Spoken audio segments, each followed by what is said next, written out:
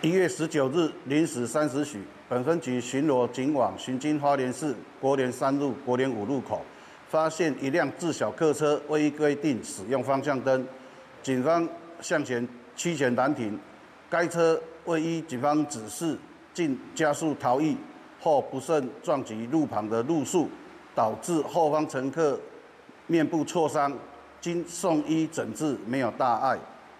在盘查过程中，驾驶散发浓厚的酒气，经检测有酒后驾车的情势，在车内啊，经警方目视可及之处，发现 K 盘一个黑他命一包，全案依违反公共危险罪及毒品危害防治条例移送台湾花莲地检署侦办。